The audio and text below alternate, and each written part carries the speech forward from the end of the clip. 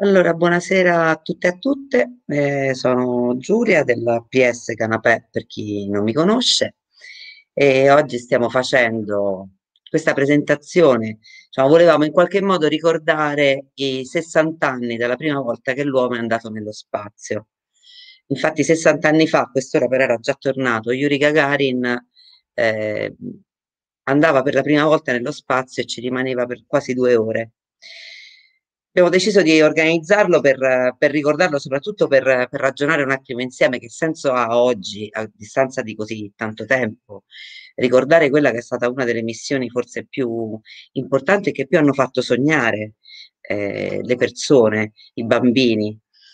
E che senso ha avuto allora? E lo vogliamo fare insieme a Cristiano Armati, che è della Red Star Press, perché la Red Star Press ha pubblicato prima nel 2013 il primo volume che è l'autobiografia di Yuri Gagarin, primo uomo nello spazio, da, non c'è nessun Dio quassù, e poi dopo, successivamente, tre anni dopo, il secondo libro scritto da Gagarin, che è quello che ho visto nello spazio, in realtà non scritto da lui solo, ma un, un lavoro, diciamo, più introspettivo su quella che è stata l'esperienza eh, l'esperienza del cosmonauta forse più famoso eh, dei nostri tempi. Prima di iniziare vorrei passare un attimo ai, saluti, ai saluti e ai ringraziamenti soprattutto.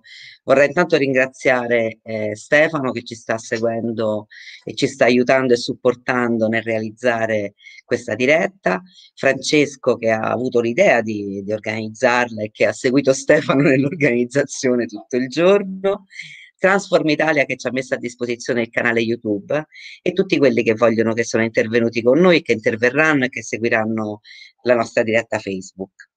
Allora, stavo dicendo Cristiano, indubbiamente, diciamo, 60 anni dopo, noi ricordiamo questo giorno che è stato un giorno mitico. Eh, io oggi, prima vi stavo raccontando, in classe, insegno in una scuola media, in una classe dove insegno geografia, prima di iniziare la lezione sull'Europa, ho ricordato questa data e mi sono resa conto che ancora per i bambini di oggi, per i quali gli anni 60 sono un'epoca lontanissima, quasi preistorica, ma l'idea della prima volta nello spazio è comunque ancora un'idea che affascina molto, nonostante molti di loro siano cresciuti prendendo aerei, andando in giro e vedendo un mondo che noi da ragazzini non vedevamo come loro, non avevamo le stesse opportunità e le stesse possibilità. Quindi intanto la prima, la prima domanda che ti vorrei fare è questa, come mai eh, voi avete deciso di pubblicare l'autobiografia di Gagarin e poi continuare pubblicando il secondo volume? Perché eravate rimasti affascinati da bambini del primo uomo dello spazio?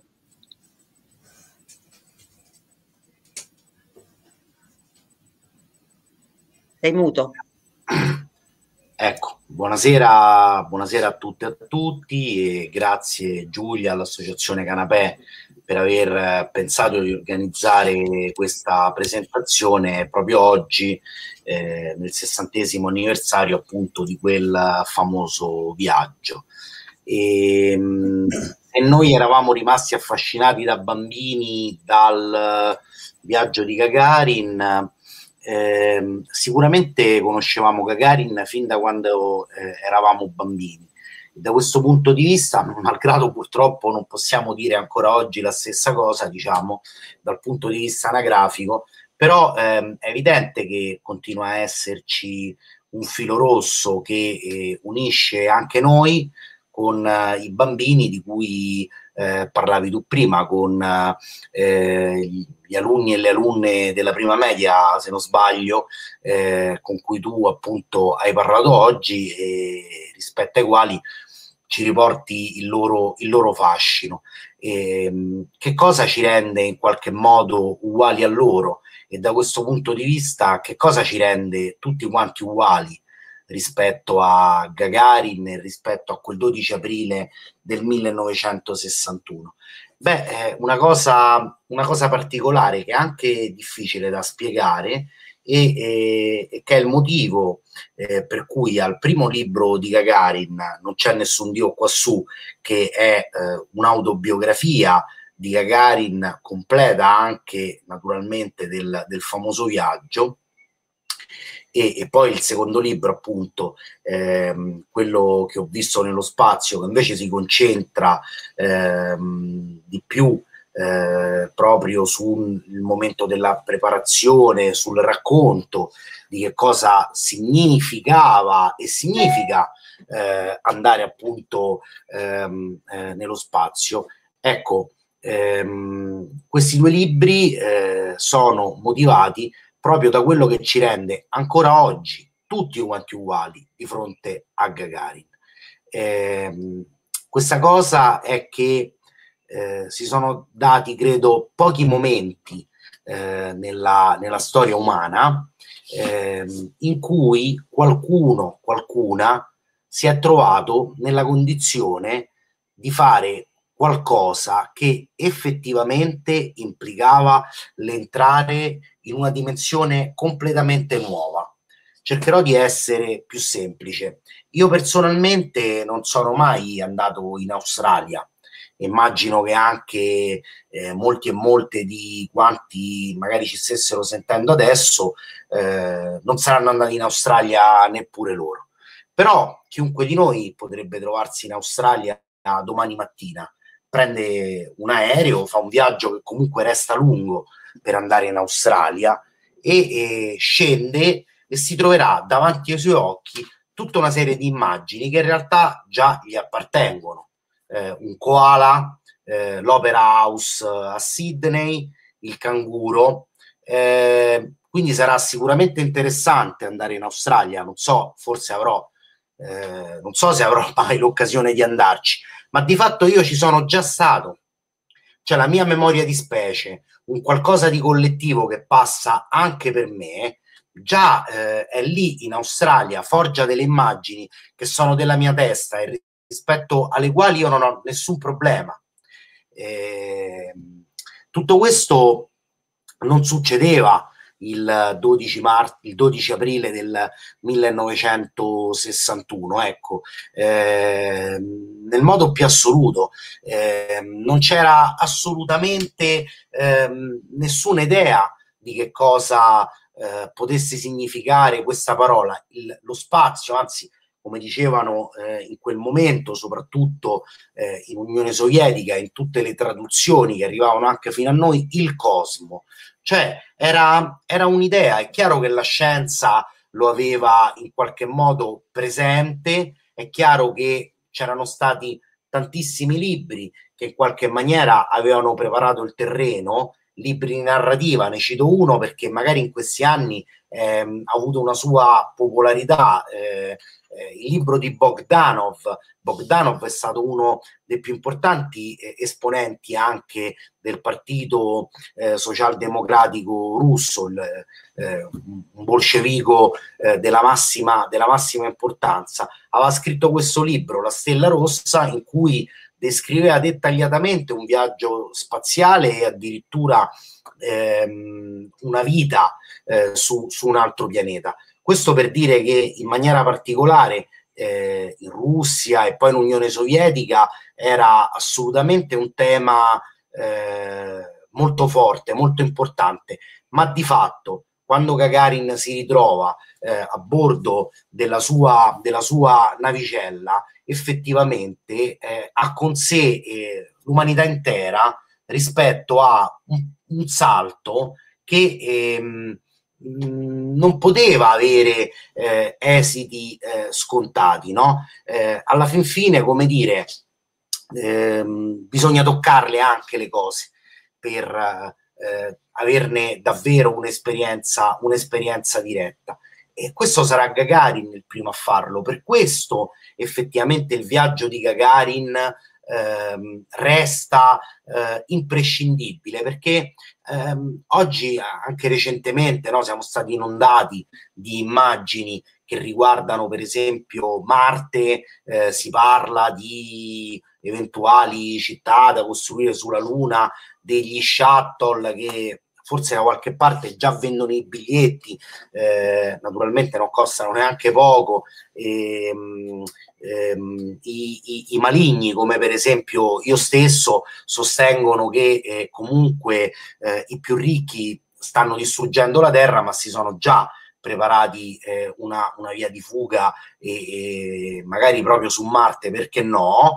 Ehm, in ogni caso, tutto questo non ci getta eh, in quello stato di ehm, incredibile attesa, di grande stupore, di enorme partecipazione in cui eh, si trovarono tutti coloro che, eh, come dire, idealmente con Gagarin fecero questo eh, primo, primo salto. Ecco, ehm, io credo che oggi è addirittura veramente difficile anche fare un esempio perché come potremmo eh, noi parlare di un altro mondo eh, rispetto al quale non abbiamo proprio nessunissima esperienza, non abbiamo nessunissima immagine, immagine eh, mentale con la quale fare i conti. Ecco, dovremmo forse ricorrere all'infinitamente piccolo, forse immaginare noi stessi all'interno di un elettrone, la possibilità veramente di toccare con mano, di viaggiare all'interno di un atomo,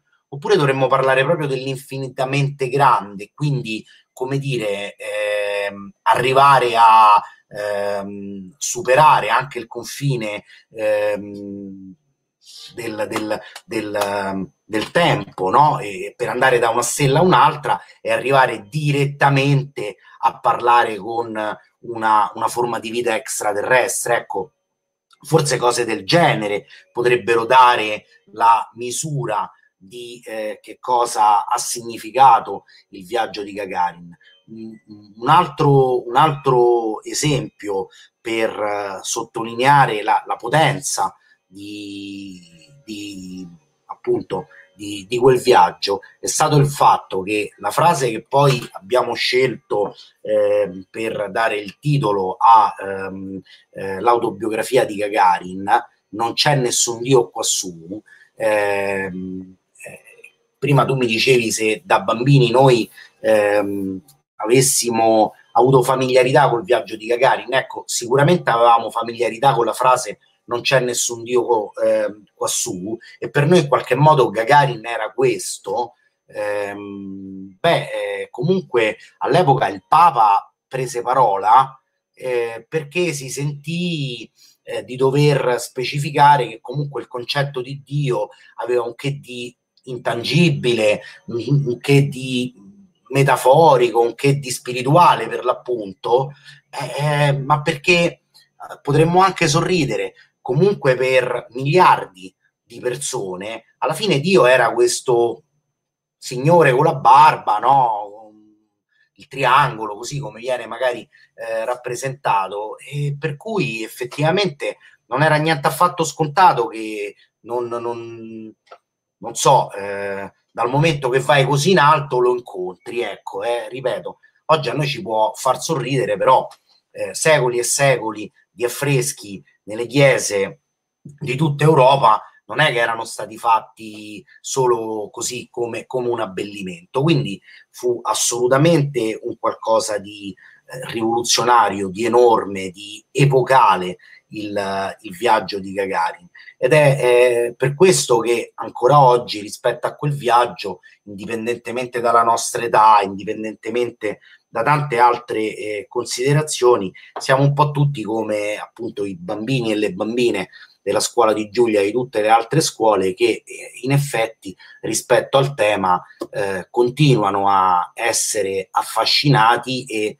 evidentemente anche loro sentono ehm, la grandezza dell'essere lì per la prima volta, raccontarlo, portare con sé le immagini che ancora oggi, se noi eh, come bambini di qualsiasi scuola ci mettiamo lì a fare un disegno, eh, diciamo così, della Terra vista dallo spazio, alla fine eh, è con gli occhi di Gagarin che eh, continuiamo a guardare eh, quel mondo, diciamo così, su cui comunque nessuno è mai stato, ma evidentemente eh, dopo il 12 aprile del 1961 ci siamo stati comunque tutti e tutti. Ehm, lo spazio o Sydney, eh, la terra blu o il koala eh, sono acquisiti diciamo a, alla nostra immaginazione, alla nostra, alla nostra eh, mappa mentale, al modo in cui eh, concettualizziamo, il caso di dirlo, tutto lo spazio nel quale in qualche modo eh, abitiamo, anche, anche se poi facciamo questa presentazione che siamo ancora fra zone rosse e zone arancioni, io qualche mese che non supero Viale di Tormarancia, ma insomma questo poi è, è un, altro, un altro discorso. Ora, ehm, non so se qualcuno voleva eh, intervenire e, e, e, da questo punto di vista vi, vi, ripasso la palla o se invece preferiamo entrare eh, nel vivo eh, di quella che è stata l'esperienza di Gagarin così come ci è stata raccontata da, da, lui stesso, sia per quanto riguarda la sua vita, sia per quanto riguarda la sua storia eh, proprio da astronauta e, e, quindi tutto quello che eh, questo ha, ha significato, insomma, perché eh, senz'altro eh, andare nello spazio non è che fu propriamente una passeggiata, insomma, ecco, ha richiesto sicuramente eh, tantissimi eh, sacrifici, grandi investimenti e soprattutto eh, una spinta emotiva davvero, davvero notevole, insomma, e assolutamente affascinante. Intanto io volevo aggiungere una cosa, cioè il fatto secondo me del fascino estremo che continua ad avere, tu dicevi se oggi dovessimo immaginare eh, una missione così importante come quella che è stata nel 61 di Gagarin verso un, uno spazio che non si conosceva, di cui non si avevano immagini, quindi era qualcosa che nessuno mai aveva visto e lui ha potuto raccontare per la prima volta, è proprio nel fatto che noi in realtà quello spazio in qualche modo ce lo potevamo e ce lo potevamo allora e ce lo possiamo ancora e ancora oggi i ragazzi lo fanno immaginare alzando gli occhi verso il cielo. Cioè è qualcosa che fa parte della nostra quotidianità, ma che diventa irraggiungibile, lontano, è da spazio alla fantasia, no? E quindi, eh, come dire, un racconto da chi invece c'è stato, cioè dall'altro punto di vista, e l'idea che qualcuno abbia potuto avere quell'altro punto di vista è qualcosa che eh, a me, nonostante non faccia più la prima media, ma insegno a loro, continua ad affascinarmi, no? Un po' poter andare magari su una stella o quanto sono grandi le stelle che noi vediamo così piccoli. È un mondo, forse è uno dei pochi spazi di fantasia che ancora rimangono anche ai bambini, che spesso sono invece condizionati e guidati nelle loro fantasie da mille altri, da tutte quelle immagini che tu dicevi di cui noi siamo circondati. Per cui il mondo, il viaggio sulla Terra, in altri posti della Terra, in realtà non è più uno stupore così forte perché andiamo a rivedere delle immagini che in qualche modo abbiamo visto. Tu prima citavi Sidney, ci sta il cartone animato dei bambini, Nemo, quindi loro già sanno che cos'è. Eh, che cos'è. Ma torniamo al nostro Gagarin. Intanto diciamo ci sono alcune, alcune sue frasi che, eh, che secondo me eh, continuano ad essere eh, veramente, come dire, illuminanti. Voi ne avete scelta una che ovviamente ha tutto un certo tipo di mondo, è molto chiaro, è molto caro, perché il fatto che si vada nello spazio e si affermi che non ci sta nessun Dio, come invece nella rappresentazione umana, no? la collocazione del Dio è sempre al di sopra, gli dei dell'Olimpo, gli dei dei greci erano sull'Olimpo e via via poi dopo anche nel mondo cristiano e cattolico comunque la rappresentazione del Dio è nello spazio perché deve guardare dall'alto la terra e ci deve guardare tutti. Quindi questa. L'altra secondo me bellissima è quella che noi avevamo scelto come titolo di questa iniziativa, quando lui dice che non soltanto la terra dalla sua è bellissima, ma è senza frontiere né confini. A me questa sembra un'osservazione che può sembrare per qualcuno banale, ma in realtà è, come dire, traduce un mondo interiore ideale. È tutta la terra, non, non siamo, i confini sono una cosa che abbiamo messo noi, le frontiere sono una cosa che alziamo noi. La terra di per sé non ce li ha, sì, ha dei confini naturali, ma i confini naturali si possono varcare in qualche modo, no? Eh, non c'è questa, non c'è per la, la, violenza in qualche modo di chiudere gli spazi. A me piace di, molto di più pensare alla terra nel suo insieme, a tutti noi che viviamo sulla terra come eh, un unico popolo e non un popolo frazionato. L'altra cosa che mi sembrava molto interessante è quella che voi invece avete scelto come quarta di copertina, quando lui dice appunto che girando intorno alla Terra, dice il mondo dovrebbe permetterci di preservare e aumentare questa bellezza e non distruggerla. Bene, detto, come dire, 60 anni fa, quando in fondo non lo dicevano in tanti, mi sembra che sia stata un'altra osservazione eh, puntuale e centrata. Eh, perché forse è una delle cose appunto con i bambini spesso si lavora su questi temi perché nonostante se ne parli molto però ancora oggi non riusciamo a capire che in realtà la terra la dobbiamo veramente preservare, se no, come dicevi prima tu, i ricchi, cioè i potenti, eh, la stanno minando e distruggendo, forse perché se, no, se ne sono rivelati un'altra, noi abbiamo solo questa e quindi cerchiamo di fare in modo che siano sempre più le persone che vogliano, come pensava Gagarin, proteggerla. Ehm, mi piacerebbe che tu ci raccontassi, a meno che non c'è qualcun altro che vuole intervenire, ma intanto ehm, mi piacerebbe, eh, come dire, dare qualche informazione su chi era Gagarin, da dove arrivava. Cioè è anche interessante il personaggio, ricordiamoci, 1961, nessuno era passato nello spazio, ma è anche un momento storico particolare. Eh, è il momento della guerra fredda, è il momento dopo la seconda guerra mondiale, eh, ci sono i due blocchi contrapposti, lui è persona convintamente appartenente all'Unione Sovietica, un paese che ragionava in altro modo e che dava sicuramente la possibilità a tutti di raggiungere i propri, quantomeno dare gli strumenti per far sì che si potessero raggiungere dei sogni o si potesse comunque ehm, realizzare qualche cosa. Un po' quello che noi abbiamo nella nostra Costituzione, no? lo Stato dovrebbe intervenire per eh, togliere le differenze sociali e consentire a tutti di eh, perseguire i propri desideri. Una bellissima Costituzione, per ora diciamo ancora molto su carta, forse oggi ancora di più. Gagarin da dove arrivava? Ma allora, ehm, è interessante questa, questa domanda perché eh, quelle frasi che eh, effettivamente noi abbiamo scelto e che tu citavi eh, non sono niente affatto, diciamo così, casuali e hanno una storia precisa cerchiamo di arrivarci proprio a partire da, dal punto in cui eh,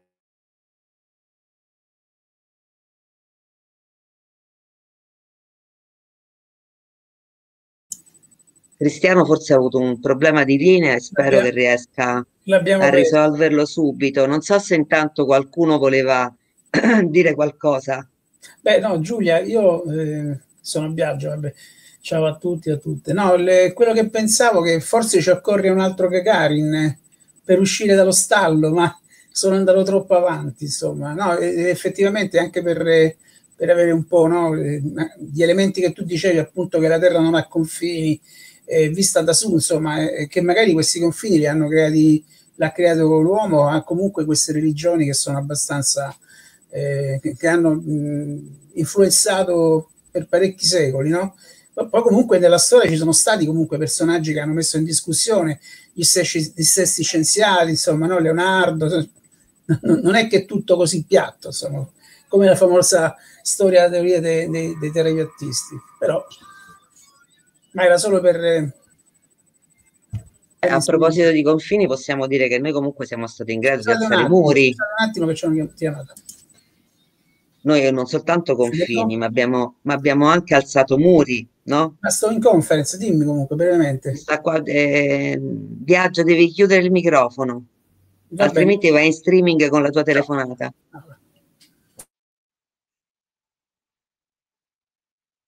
Eccoci, non eri rimasto col microfono acceso. Stavo dicendo non soltanto confini, no? uno dei temi eh, che sono comunque dibattuti ancora oggi sono i muri, a partire dal muro di Trump con, eh, con il Messico, eh, ma c'è il muro, il muro di Gaza, insomma, noi abbiamo il, l'uomo tira su muri. Ecco Cristiano, bentornato da noi. Sei ecco. tornato? Sì, sono, sono, io in realtà credevo di non essere mai andato via, ma insomma è il bello di questi, di questi strumenti. Ora, non so se mi sentite, io stavo rispondendo a Giulia dicendo che le frasi che lei citava, eh, non c'è nessun Dio quassù, eh, girando attorno alla Terra ho visto quanto è bello il nostro pianeta e il mondo dovrebbe permetterci di preservare questa bellezza, non di distruggerla, o anche l'altra frase, eh, la terra vista da quassù è bellissima, senza frontiere né confini, hanno una storia eh, precisa.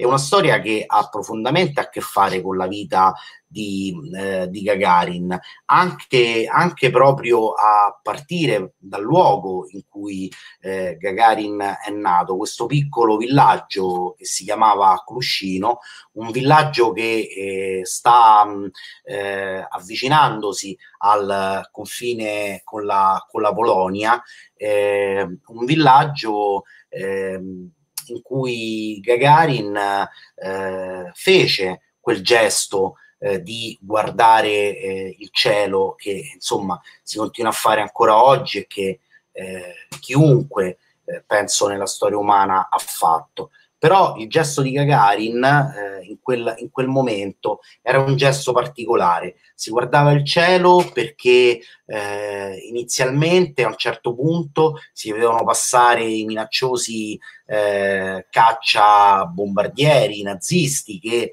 eh, aggredivano eh, l'Unione Sovietica, che tentavano questa invasione che costerà eh, milioni di morti e che tra le altre cose si impossessa anche del villaggio di eh, Gagarin. Eh, Gagarin bambino quindi a un certo punto guarda il cielo eh, perché eh, comincia a vedere che eh, altri aerei eh, cominciano a ehm, prendere il posto insomma degli aerei nazisti e sono proprio quelli invece dell'aviazione eh, sovietica. Le cose eh, stanno cambiando, ci sono i partigiani nel uh, villaggio di Gagarin e piano piano la loro attività da clandestina diventa palese, le cose cambiano, Gagarin è ancora un bambino e il villaggio ritrova la sua indipendenza all'interno dell'Unione, dell'Unione eh, Sovietica. Qui eh, inizia eh, il percorso eh, di, di, Gagarin. No? Gagarin è famoso anche eh, per un altro motivo, era figlio di un carpentiere, era figlio di un falegname, era figlio di eh, una signora che eh, lavorava nell'azienda collettiva agricola, era a quanto pare particolarmente brava nella, nell'allevamento delle mucche, aveva vinto pure diversi premi per non so, la mucca che produce più latte, insomma, eh, questa era la dimensione di, di Gagarin, una dimensione dove però ben presto, insieme al lavoro, c'è la possibilità, per esempio, dello studio, c'è, c'è la scuola, ecco, Gagarin, che pure viene da una piccola eh, località eh, di, di, campagna, eh, ha la possibilità di eh, trasferirsi attraverso lo studio, attraverso eh, il lavoro e, e, alla fine arriverà a Mosca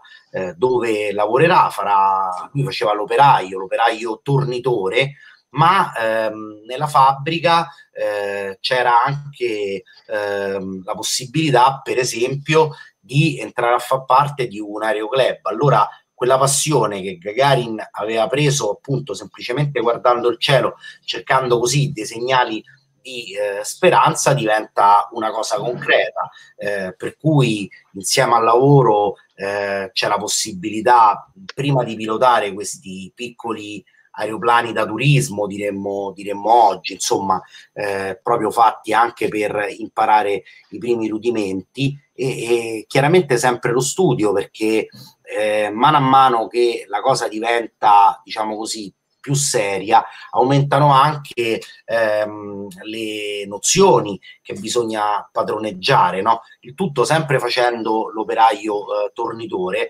però eh, ecco allora la fisica, ecco allora la tecnologia dei metalli, ecco allora eh, insomma tutto ciò che eh, effettivamente ti porta a poter capire come mai eh, un, un, un, un, manufatto no? fatto di acciaio pesantissimo, eccetera, può effettivamente eh, volare. Ecco, ehm, piano piano le doti di Gagarin da questo punto di vista eh, emergono e effettivamente ehm, c'è in quel momento in Unione Sovietica eh, sicuramente da un punto di vista eh, più generale, no? la guerra fredda, questa corsa per lo spazio che eh, ha eh, tanti tipi di, di, valori, ma c'è effettivamente un'enorme spinta di massa, cioè c'è un'attenzione rispetto ai temi scientifici, rispetto allo studio, rispetto al discorso della conquista appunto dello spazio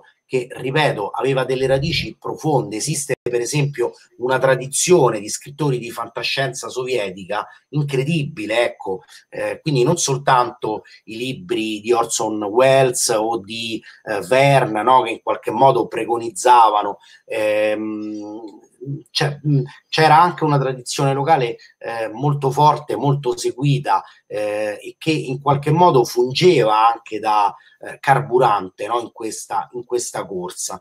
A un certo punto dal piccolo aeroclub eh, della, della, fabbrica, Gagarin eh, è uno dei 3.461 candidati che inizialmente eh, in maniera molto larga vengono selezionati rispetto alla possibilità di prendere parte a eh, una eh, missione spaziale.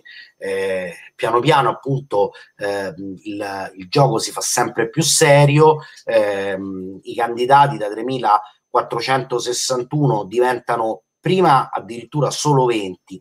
nel gennaio del 1961 sono soltanto in 6, ehm, arriviamo al 12 aprile ancora la sera dell'11 aprile erano in due le persone che avrebbero potuto svegliarsi la mattina e eh, salire su questa navicella che eh, appunto eh, prende il nome di eh, Vostok 1, Vostok significa Oriente, e alla fine viene scelto Gagarin, a quanto sembra, proprio perché figlio di un carpentiere, figlio di gente eh, di un'azienda collettiva, insomma, eh, rappresentava in maniera compiuta quella che era la nuova eh, Unione, Unione, Sovietica. Da qui eh, il famoso eh, viaggio di cui, di cui, stiamo parlando. E, mh, le frasi che Gagarin dice non sono frutto del caso. E, ehm, mh, esisteva all'interno dell'Unione Sovietica a partire già dalla seconda guerra mondiale un qualcosa di cui ancora oggi ci sono eh, i segni, per quanto eh, forse non in grado di esprimersi con la forza che meriterebbero. Questo qualcosa era il movimento per la pace. Eh, il movimento per la pace era un, vero e proprio movimento per il cambiamento sociale che individuava effettivamente nella guerra eh, uno strumento tipico della società capitalista, eh, la necessità che il capitalismo ha di generare eh, periodicamente delle immani di istruzioni no, per rigenerare eh, la possibilità eh, del capitale di produrre eh, profitto. Questo era un grande nemico e, e immaginiamo che per esempio ehm, eh, un'istituzione come il premio Lenin per la pace, che cosa andava in qualche modo a eh, toccare? Esattamente questo tipo di discorsi. Quindi questo tipo di frasi, Gagarin, questo tipo di pensieri ehm, sono assolutamente interni a questo, eh, a questo ragionamento, un ragionamento eh, molto, molto profondo e che tra l'altro voglio dire nel libro di Gagarin non c'è nessun Dio quassù, nella sua eh, autobiografia sono sempre, sempre presenti. Gagarin parla anche direttamente, per esempio, parla a tantissimi aviatori, cita, cita molto parla come del suo autore preferito, per esempio dell'autore del Piccolo Principe, no? Eh, Eusperi, che era un pilota che peraltro, voglio dire, scompare letteralmente alla guida, anzi lui era, era eh, non solo per il Piccolo Principe, era famoso per i libri scritti dal punto di vista dei piloti delle linee postali. E, ehm, questo affascinava tantissimo Gagarin, ne, parla diffusamente, ma parla anche per esempio dei suoi colleghi astronauti eh, statunitensi, perché c'era effettivamente questa corsa nello spazio e lui ne parla con ammirazione, ne parla, cioè da questo punto di vista sottolinea i successi che avevano avuto e in qualche modo dice io eh, veramente mi sento vicino a loro perché penso che loro debbano fronteggiare un nemico enorme che io invece non ho in nessun modo e questo nemico è la solitudine perché eh, alla resa dei conti nella società del consumo ognuno è condannato alla sua solitudine, non, non, su questo insiste tanto, cioè io veramente ehm, ho creduto sempre di eh, stare su quella navicella insieme a tutto il popolo sovietico, anzi a, proprio a tutti, cioè ecco io eh, non sapevo, no, perché conosco naturalmente la canzone della banda Bassotti,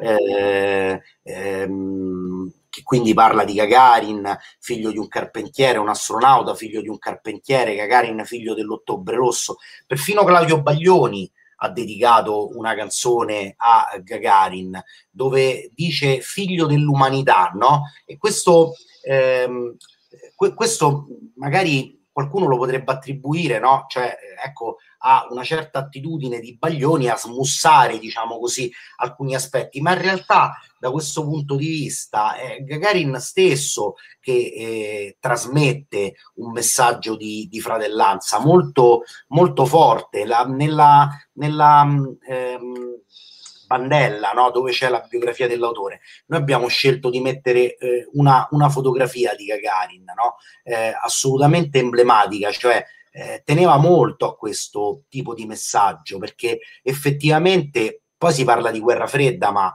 non è che mancava nemmeno la guerra calda, no? si potrebbero citare tantissime cose eh, che sarebbero poi successe, che erano successe, eh, di, di, guerra guerreggiata, sporca, ehm, ma eh, per qualche motivo lo spazio in quel momento si sottraeva anche a, a, a quel tipo di logica. Eh, Gagarin, una volta tornato ehm, a, a terra, girerà, girerà, il mondo, verrà accolto ovunque, cioè aveva, questa era una sua dote effettivamente, no?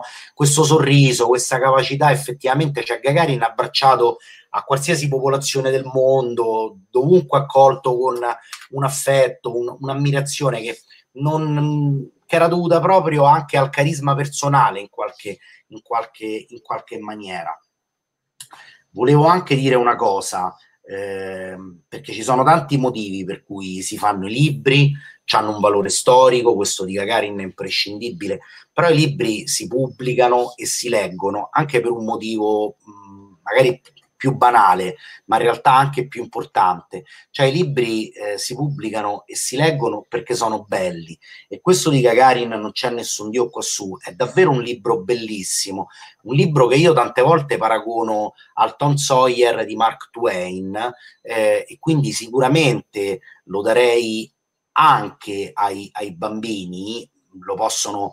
Eh, diciamo che chiunque lo legge effettivamente avrà una, una, bellissima esperienza, perché poi non ci dimentichiamo un elemento che oggi viene sempre eh, bistrattato, no? Di, quella di Gagarin, tutta la, tutta la storia di Gagarin è la, è la storia di un ragazzo, è spesso la storia di un bambino, poi di un ragazzo, cioè Gagarin effettivamente compie il famoso viaggio quando è nel 1961 a 27 anni cioè lui a 27, tutta questa epopea si era consumata che lui aveva 27 anni, insomma.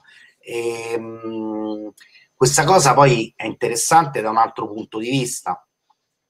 È interessante perché eh, effettivamente ehm, si parla a volte no, del club 27, cioè quindi questa strana età in cui poi sarebbero morti ehm, Jim Morrison, Janis Joplin, Jimi Hendrix, anche Kurt Cobain e, e, e Amy Winehouse.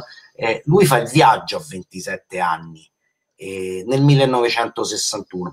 Morirà eh, quando ne ha 34, nel 1968.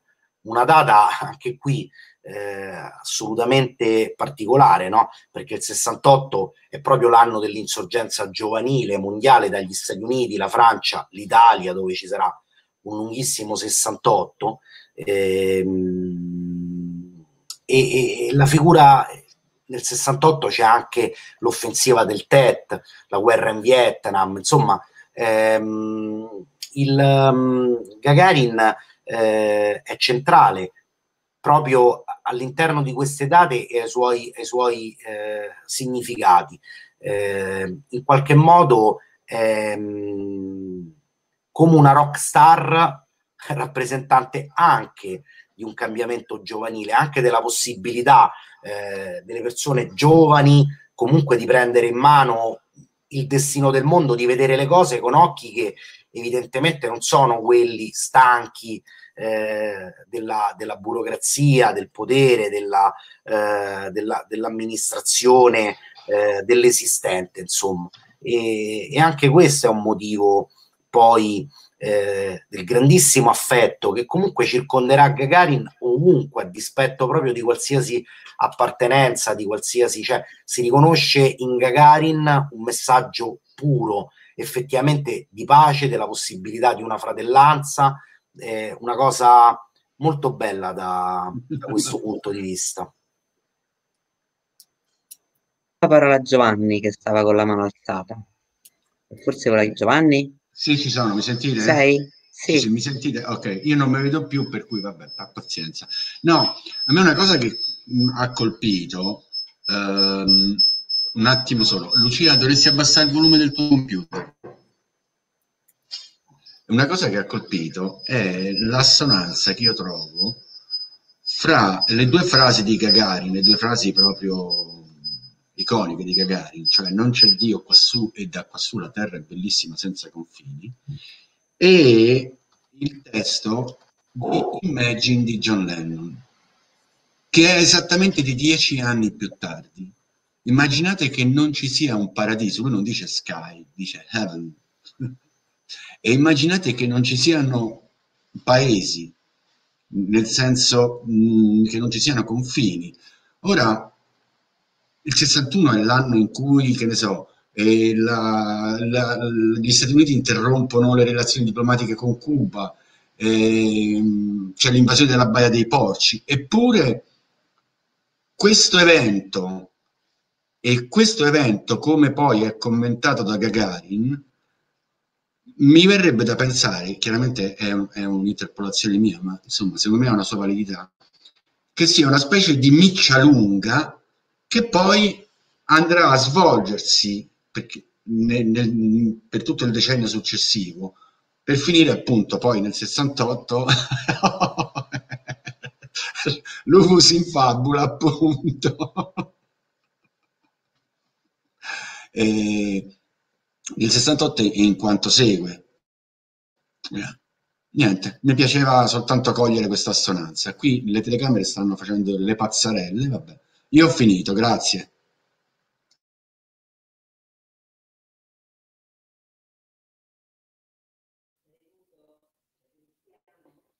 Cristiano, sei mutato? Mutato. Attiva il microfono.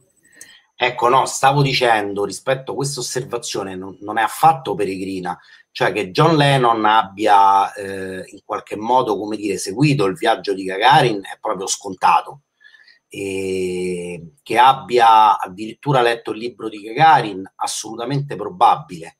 Eh, ripeto, noi non ci rendiamo conto, nel senso che eh, non c'era stato non, nel, nella storia ehm, della comunicazione umana un qualcosa di eh, seguito come fu seguita eh, l'epopea di Gagarin in quel, in quel momento proprio nel modo più assoluto.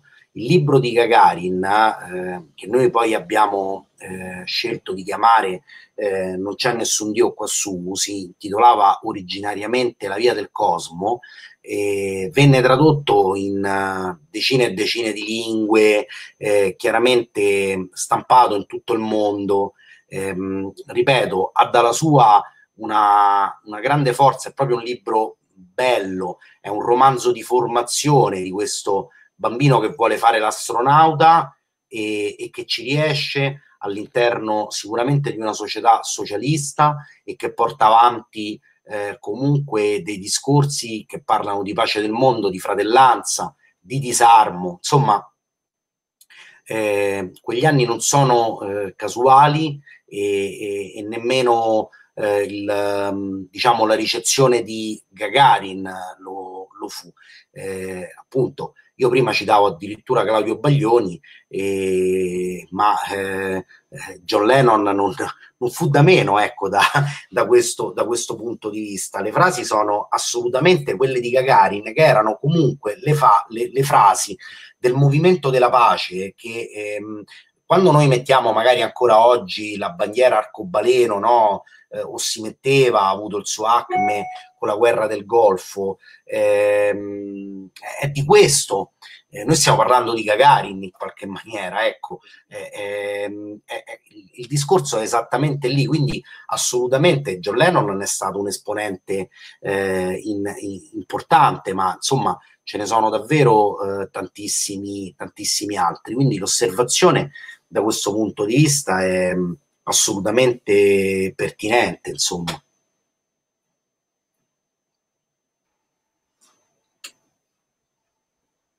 Bene. Qualcuno vuole dire qualche cos'altro? O ci facciamo raccontare qualche altro? Beh, sulla parte oggi sentivamo appunto un, un servizio alla televisione che ovviamente ricordava il volo nello spazio di Gagarin e poi però non potevano che porre l'accento sulla fine misteriosa di Gagarin, per dire vabbè si è fatto questo, poi però ricordiamoci che stava sempre in Unione Sovietica e lì succedevano cose che non si possono raccontare. Questo era il sottotitolo che passava, no? Per, eh, e si capiva chiaramente insomma che volessero, eh, che volessero intendere nel servizio al telegiornale ed è un peccato. Da quello che dici io eh, appunto non ne ho letti soltanto alcuni brani, ma eh, come dire, leggerò con più attenzione, non c'è nessun Dio qua su perché tutti questi discorsi mi convincono sempre di più eh, nella proposta che tu facevi, cioè proponiamolo nelle scuole, forse facciamo vedere anche eh, un'Unione Sovietica diversa rispetto a quella che viene di solito eh, raccontata, raccontata a scuola, no? E nell'immaginario collettivo comunque. E invece, diciamo, quelli che erano dei sentimenti poi veramente senza confini, cioè stai parlando di, come dire, un, mo- un movimento emotivo che era realmente senza confini e senza frontiere, che ha colpito, che ha investito le varie parti del pianeta. Ed è secondo me importante che le giovani generazioni ne, eh, ne, siano, ne siano consapevoli, forse perché uno dei problemi che hanno in questo momento è quello di sognare un mondo diverso, no? di, vedere, di vedere oltre le zone rosse, oltre il confine che hanno.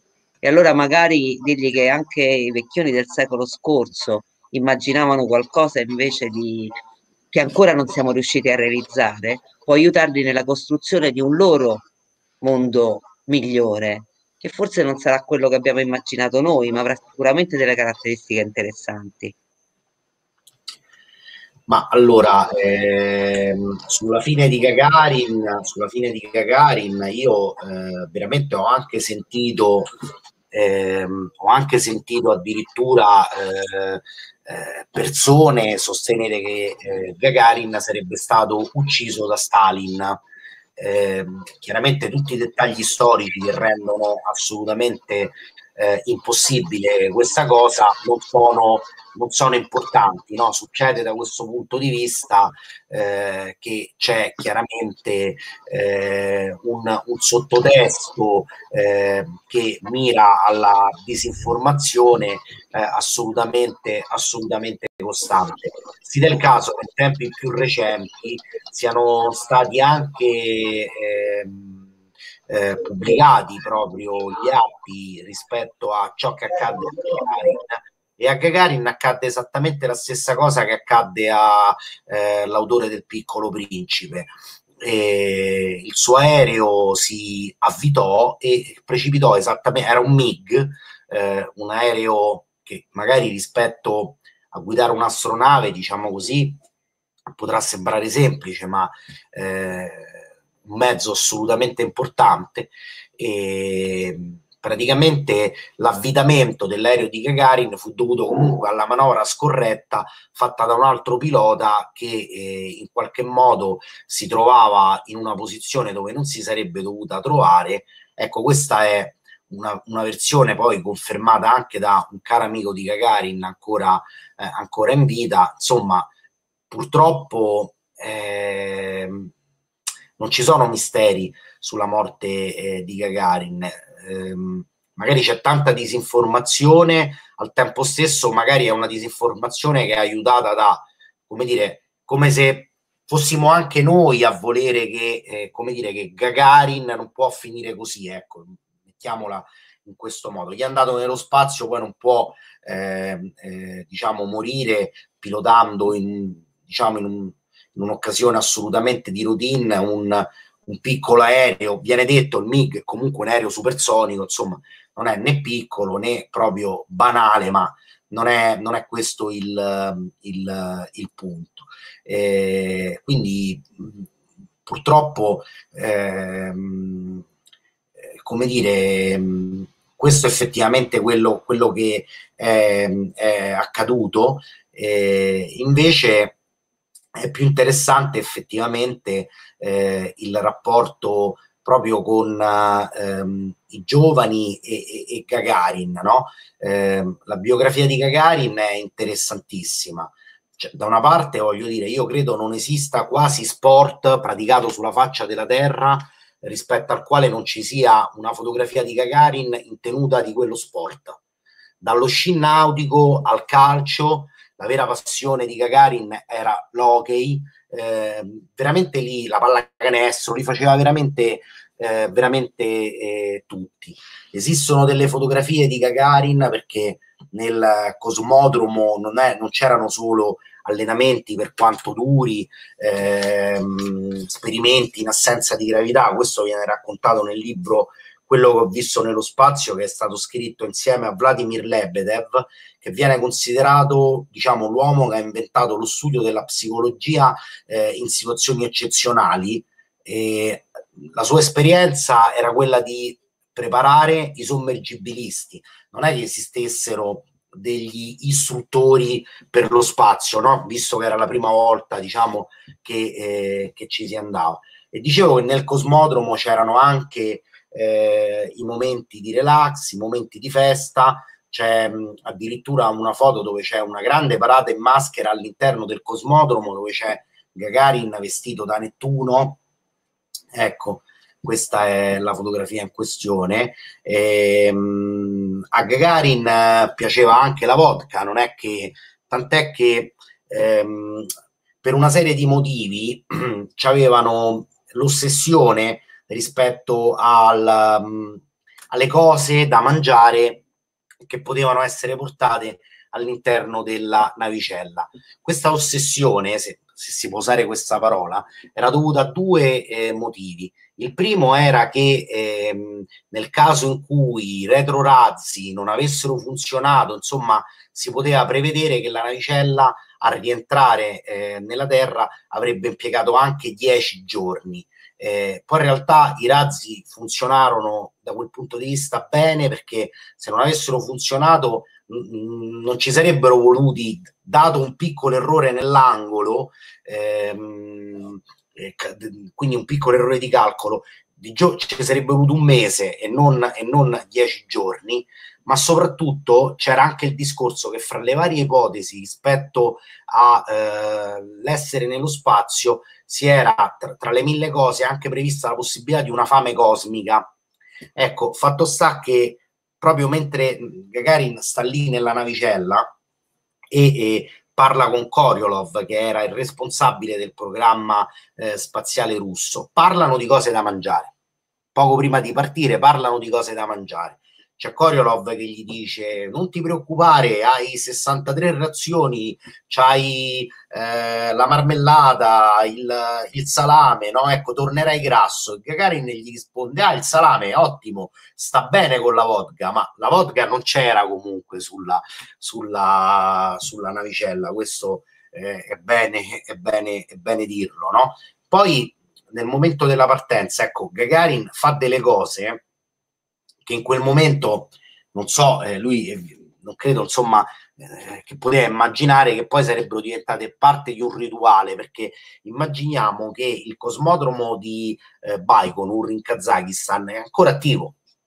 E non è che hanno smesso gli astronauti, no? Ci stanno anche adesso mentre noi parliamo. E chiunque vada nello spazio eh, fa le stesse cose che ha fatto Gagarin. Gagarin, mentre si spostava eh, per raggiungere la navicella, praticamente improvvisamente deve fare la pipì. Per cui scende da questo autobus e fa la pipì sulla ruota dell'autobus. Da allora questo pare che sia diventato un rituale, no? che se non fai la pipì sulla ruota dell'autobus, mentre praticamente stai quasi sulle scalette della, della, della navicella, non puoi andare eh, eh, nel, ne, nello spazio. No? Anche la colazione di Gagarin, cioè è nota perché la mattina si svegliano alle 5 e mezza del mattino. Gagarin sa eh, che eh, deve andare nello spazio. Peraltro scrive tutta una lettera alla moglie, era una lettera che doveva eh, servire nel caso in cui eh, magari non sarebbe tornato.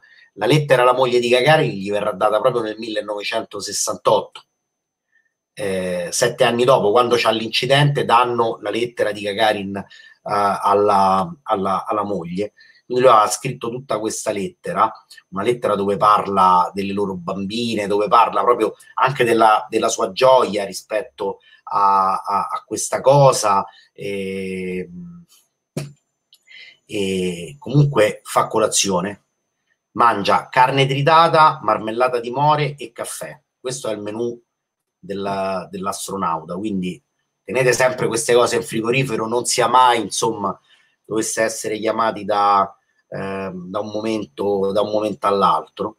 E, e, e, dopodiché sta lì sulla eh, navicella, eh, aveva il sottotuta che era blu eh, di un materiale particolare e poi c'aveva la tuta vera e propria, no? quella che tutti quanti vediamo e prevalentemente la vediamo in bianco e nero perché la maggioranza delle fotografie no? ancora sono, sono che lì è una memoria in bianco e nero quella ancora di Gagarin, eh, ma in realtà esistono pure le foto a colori e, e la foto di Gagarin era eh, la tuta di Gagarin, la tuta degli astronauti era arancione allora, immaginate la tuta degli statunitensi era bianca, quella ce l'abbiamo presente. Perché la tuta di Gagarin è arancione, quella dei, dei cosmonauti è arancione? È arancione perché quella era la divisa degli operai. E quindi fanno questo gesto profondamente simbolico, ma pure pratico, perché Gagarin faceva letteralmente il tornitore fino a qualche tempo prima. E, e quindi, come dire, per sottolineare l'importanza di quella eh, enorme eh, categoria sociale sulla quale si fondava in qualche modo l'Unione Sovietica, ecco, la tuta era, eh, era eh, arancione. Questo lo rimarca in continuazione eh, Gagarin e, e, sarà anche un motivo per lui di un, un enorme conforto perché eh, dura 108 minuti la, la, insomma il, razzo parte, raggiunge eh, il punto orbitale, fa un giro completo della Terra, eh, inizia il rientro, a un certo punto Gagarin sta in un abitacolo grande come quello di una 500. Questo è assolutamente scarno, eh, ha pochissimi strumenti eh, e a un certo punto praticamente la temperatura della superficie esterna comincia a salire eh, Gagarin deve ricorrere eh, all'espulsione, cosa che eh, era naturalmente prevista, si lancia, cioè il sedile eh, chiaramente di questa 500 spaziale eh, espelle la, l'astronauta, sta a 7 km dalla Terra, cioè si lancia da 7000 metri. E mh, mm, vede questo grande fiume, dice deve essere il Volga, insomma ci abbiamo preso perché comunque in realtà ci prendono abbastanza perché non sta così lontano dal punto di, eh, di partenza e praticamente alla fine a terra c'aveva il terrore perché nell'equipaggiamento c'aveva pure una specie di canotto. Eh, il problema era che eh, nell'espulsione, insomma, il canotto se lo, se lo, perde, quindi non ce l'ha. Quindi il, il vero pericolo è cado nel fiume invece non ca- tutto quell'armamentario comunque non era una passeggiata, non cade nel fiume, cade proprio in un corcos, cioè in realtà sbagliando non di molto eh, l'angolo, mh, mm, alla fine succede una cosa più bella perché anziché cadere esattamente nel cosmodromo, cade eh, in, un, in un'azienda colcosiana. Praticamente la prima persona che vede è una signora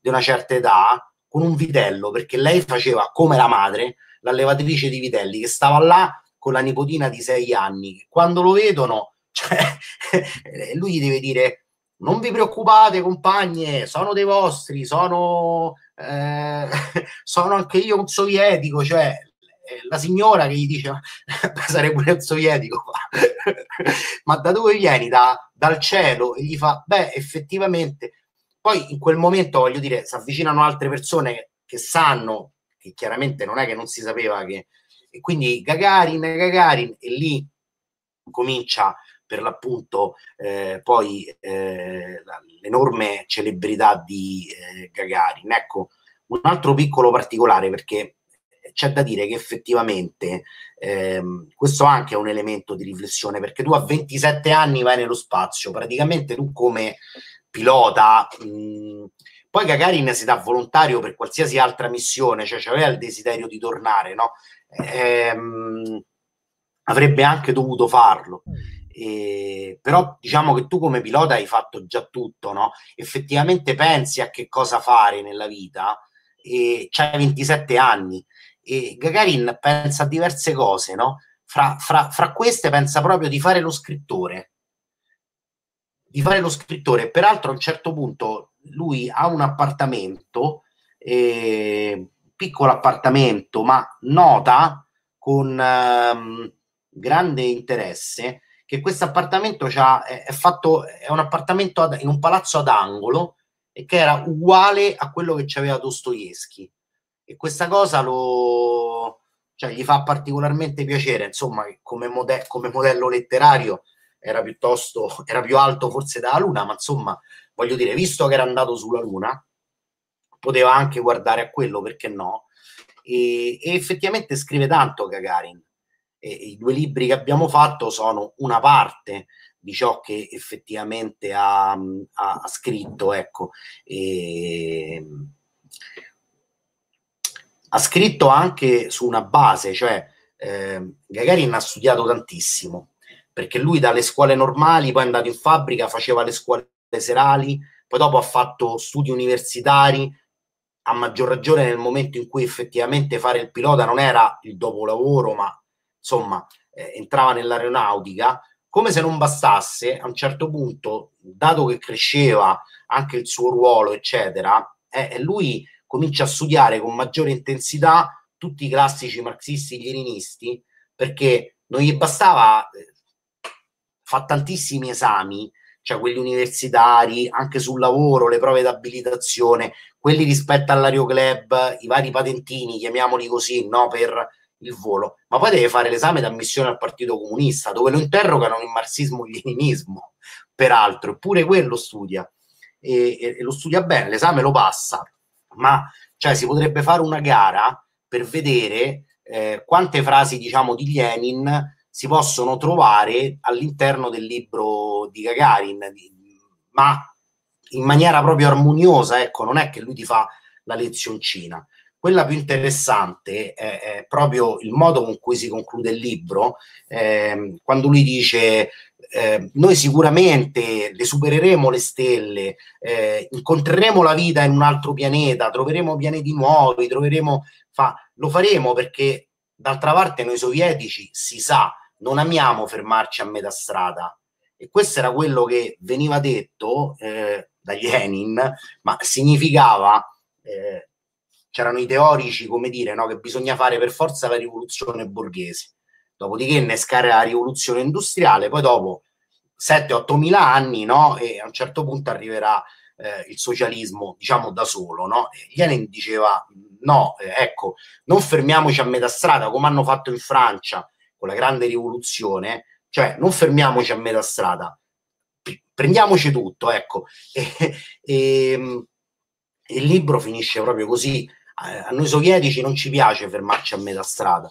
E, e quindi già era proiettato effettivamente verso eh, una possibilità, cioè quella veramente grande, al momento non mi risulta che effettivamente ci sia arrivati perché il vero problema ehm, rispetto alle esplorazioni spaziali non è tanto la distanza quanto il tempo.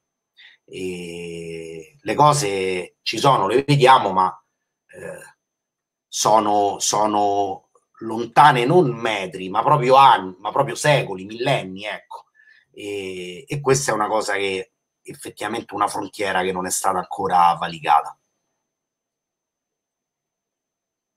Comunque vorrei anche ricordare che è sempre dall'Unione Sovietica che parte la prima donna nello spazio, no? Erano amici. Eh, due anni dopo Tereskova anche lei, operaia, eh? ammiratrice di Gagarin, è la prima donna ad andare nello spazio. Io non so quando poi dopo sia andata un'altra donna nello spazio, ma indubbiamente anche questo è, come dire, una, è un evento importante su cui riflettere, no? Uh, che, che, anche lei ha potuto andare come quello che era stato eh, il, suo, il suo eroe finalmente nello spazio. Beh, hanno una storia per, per, alcuni versi anche simile. Eh, la Tereskova era figlia di un carrista eh, eh, dell'esercito e la Tereskova eh, può guidare un aeroplano pure lei in un, in un aeroclub, in un aeroclub eh, al, al dopo lavoro. E, peraltro eh, la Tereskova e Gagarin erano proprio amici, ci stanno foto loro, sempre Gagarin con la vodka questa volta effettivamente. Poi la Tereskova sposerà un altro astronauta molto amico di Gagarin, proprio il, eh, il compagno di Gagarin, e, e, peraltro gettando a un certo punto nel panico anche lì, sempre il discorso è un'atmosfera eh, sconosciuta, un, una, dimensione. Cioè, quando la Tereskova resta incinta di un altro astronauta, erano tutti stati nello spazio, loro non sapevano che cosa aspettarsi, eh? Cioè, erano... Dici, questi hanno praticamente concepito nello spazio, cioè che cosa potrà... Che, che succederà? Che poi non succede niente. La Tereskova c'è da dire una cosa, è ancora viva e francamente ancora iscritta pure al Partito Comunista, eh, ne, non ha cambiato grosse, grosse idee ecco, rispetto, rispetto all'epoca. Intanto per avere la prima italiana nello spazio bisogna aspettare il 2000 già avanzato e, questa, e questo lo dice lunga, eh, la dice lunga. Bene, non so se ci sono... Foretti ha reso proprio omaggio alla figura di Gagarin eh, eh, certo. Eh, recentemente voglio dire, penso che chiunque vada nello spazio non può, come dire, non aver, non essere rimasto affascinato e non aver studiato e non dedicare il suo viaggio a, al, primo, al primo che ci è andato. L'altra cosa, diciamo, che viene fuori da tutto questo è che alla fine fare il giro del mondo nello spazio è velocissimo, perché lui alla fine in meno di due ore è andato, ha fatto il giro e è tornato indietro. Anche, eh? Beh, diciamo che... Comunque, 48 minuti ci ha messo. Sì, pure perché faceva, mi pare, 24.000 km all'ora. La, insomma, Beh, andava veloce, eh, forza. Eh. Però voglio dire, tu fatti un giro e torna indietro. non è poi, ci metti tanti giorni, no? Uno si immagina il giro intorno alla Terra, cioè se pensi col famoso aereo che pure quelli vanno veloci, se andai da una parte all'altra ci metti comunque un tot. Impressiona abbastanza eh, scoprire che per fare il giro della Terra e tornare indietro con un'ora e 48 minuti la cosa si risolve. Cavata, Beh, sì. è una cosa così, è un attimo, possiamo fare tutti. Va bene, non so se, qualche, se ci sono altre, altri aspetti particolari della vita di Gagarin che volevi eh, che volevi raccontarci mi sembra che ha dato anche tanti altri elementi interessanti, cioè aggiungiamo all'uomo nello spazio lo studioso, il letterato, questa cosa della casa di Dostoevsky mi è piaciuta moltissimo. Eh, comunque indubbiamente una persona con una, bel, con una curiosità e con eh, non soltanto quello, lo si immagina, no? lo sportivo allenato per andare nello spazio e tornare indietro, ma eh, in realtà una, una, bella testa, insomma, è andata per la prima volta nello spazio. Sì, peraltro potuto... Karin eh, era uno sportivo, era allenato, ma mm, cioè, non aveva, eh, lui lo ribadisce pure spesso, cioè non c'era niente del superuomo, se possiamo, anzi, come dire, era pure mh, mm, orgoglioso di poter smentire una simile visione perché era un uomo d'altezza media, certo giovane, certo in salute, eh, certo allenato e cioè, immaginiamo pure che Gagarin praticamente è nato che addirittura aveva perso la casa perché c'aveva, quindi dormiva praticamente con tutti i fratelli in maniera fortunosa, poi comunque erano tanti, poi dopo eh, quando va a Mosca lavora in fabbrica, c'è il dormitorio della fabbrica, poi dopo con l'aeroclub, l'aeronautica, praticamente Gagarin dorme da solo due o tre giorni, col, col un, un giorno quando eh, si sposa effettivamente, cioè, cioè fanno una notte, no? perché nel frattempo doveva comunque andare con lo spazio. Eh, una dedizione anche allo studio veramente eh, enorme e da questo punto di vista ehm, cioè, oggi a noi ci sembra un segreto no? però il suo ribadire eh, spessissimo ehm, il, il, fatto di aver potuto raccogliere questa spinta collettiva, di averne potuto partecipare, questa è stata una cosa che veramente ha centuplicato le, eh, le, le forze. Perché Gagarin era veramente, diciamo così, uno di noi, no? Una delle ragioni del suo successo, chiunque si può identificare in Gagarin, un alto 1,70 m, eh, come dire, anche, anche compagnone con questo bel sorriso, sempre allegro, cioè ci stanno anche le battute. Adesso incontrò Gina Lollo Brigida che gli chiese Gagarin come sono le stelle? Lui le rispose meno belle di te Gina.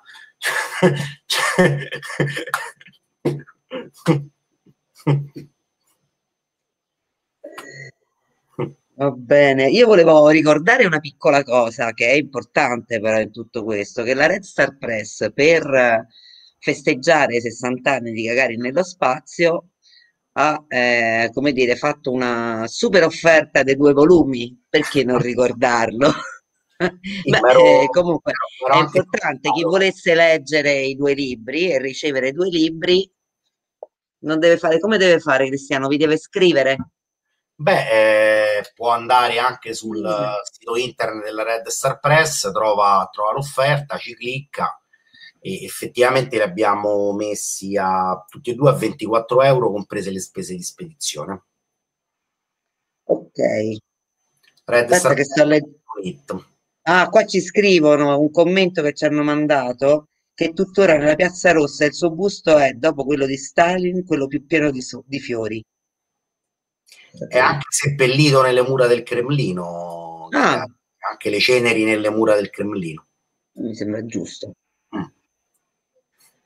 Va bene, quindi questo appunto invito tutti quanti a, a leggere i due libri di Gagarin, non soltanto a sentirne parlare o farsi raccontare com'era Gagarin, ma avere la curiosità di, di scoprirlo da solo, perché ha ragione Cristiano, un libro un libro serve, un bel libro è bene pubblicarlo ed è bene che conquisti tanti nuovi lettori.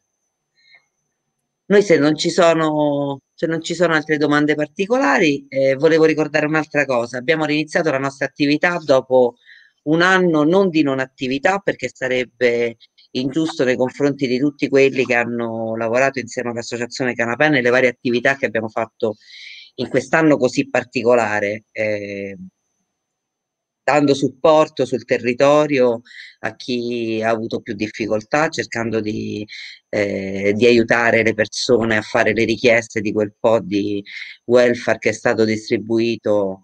Eh, che è stato distribuito, abbiamo fatto nel primo periodo comunque la distribuzione del, dei generi alimentari con autoraccolta e ci teniamo a dirlo perché è stato per noi un impegno eh, notevole quello di attivare da soli i vari canali nei supermercati, andare, prendere, portare e distribuire eh, qui nel nostro municipio e dare anche un supporto anche a organizzazioni, a strutture eh, in giro per Roma con, con i generi alimentari che avevamo raccolto.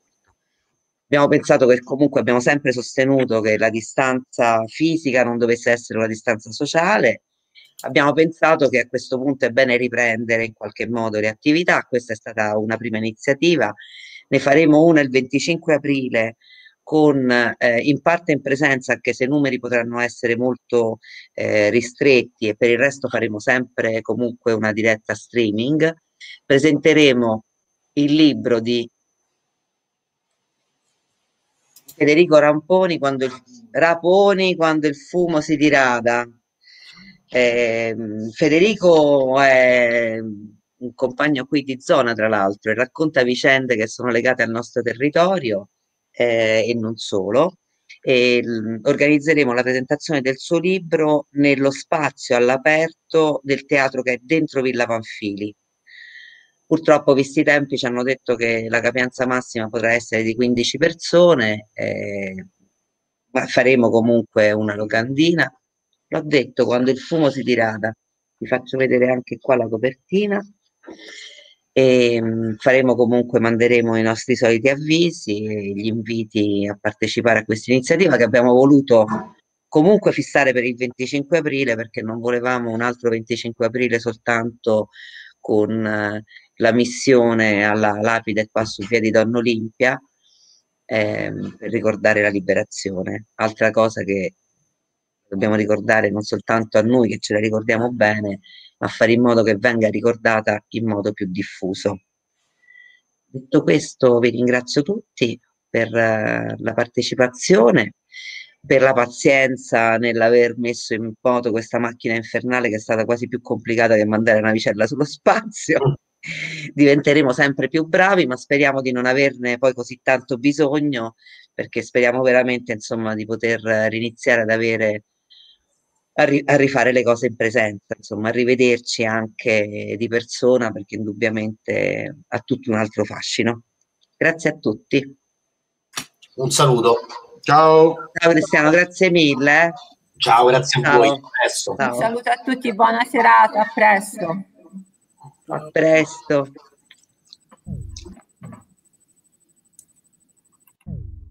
Ok.